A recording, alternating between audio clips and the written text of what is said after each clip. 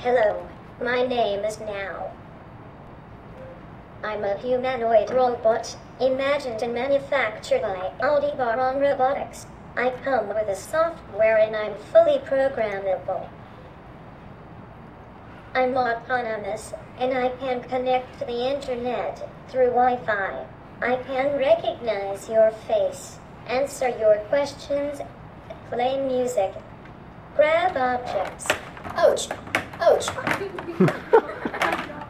That's where he's having issues, Folly. I've more than 3,000 brothers and sisters in use all around the world, in universities and research laboratories. Do you want more technical details?